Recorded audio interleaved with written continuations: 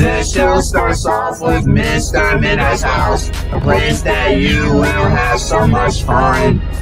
Mr. Midnight can do all things. Mr. Midnight's the person we really need. He has a best friend named Kid Shadow. He lives in the same neighborhood with Black Pearl Mom and Mad Easy Man. Check out the Mr. Midnight world. Go, Mr. Midnight, we need Mr. Midnight. You are the hero we need. Mr. Midnight, go. Come on now, Mr. Midnight. Mr. Midnight World. And don't forget to watch my show, people.